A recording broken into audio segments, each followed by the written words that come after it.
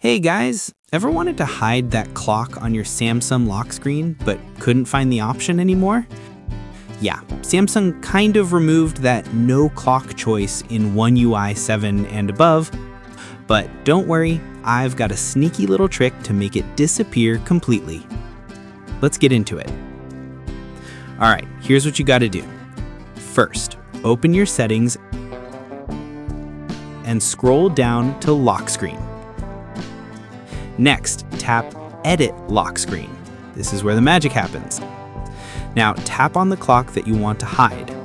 Then choose the first font option and drag the thickness all the way down to thin.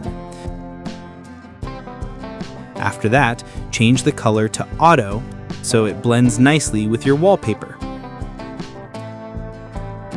But here's the secret part. Tap more colors and then slide the transparency all the way to zero.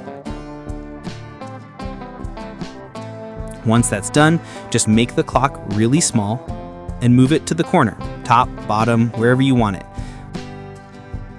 Finally, hit done and boom, the clock is gone. You've officially hidden it from your lock screen. Pretty cool, right? Now you can replace it with your favorite clock widget or just enjoy that clean, minimal look. If this trick helped you, don't forget to hit that like button and subscribe for more Samsung tips like this one. Thanks for watching, and I'll see you in the next video.